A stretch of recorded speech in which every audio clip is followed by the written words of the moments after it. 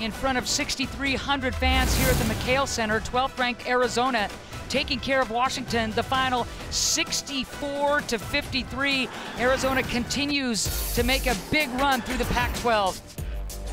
And they do it with defense, and they did it with block shots tonight. Mm. Dominant performance. Eight blocks. Sam Thomas, a big part of that, with six. Time and time again, rejection everywhere she went. In other words, stay away from Sam Thomas. She had four steals as well. This team was flying, making plays left and right. Another one by Sam Thomas. Aari McDonald with her 61st consecutive trip into double figures. And she did it with high efficiency. She only took 10 shots tonight. Eight of 10. Of course, dynamic in the open floor.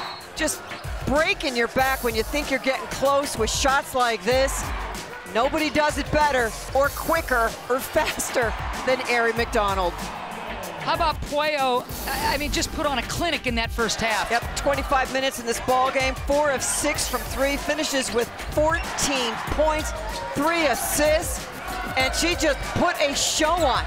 And if you're going to go zone, Pueyo's going to deliver, and it was so impressive how her teammates time and time again find her. You're the hot shooter, wear it out, and that's exactly what happened. Amari Carter just doing her job to complement that backcourt. Exactly right. 10 points, three assists, a couple of steals, steady, not flashy, but when you need something, she delivers. Open in the corner, knock it down. The transfer from Penn State, just providing so much for this Arizona Wildcat team with big dreams. So Arizona goes to 20 and 4 on the season, 9 and 4 in Pac-12 play.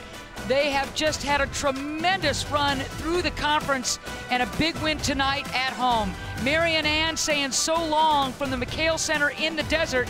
Arizona rolls 64-53. Happy Valentine's Day, everybody. See you soon.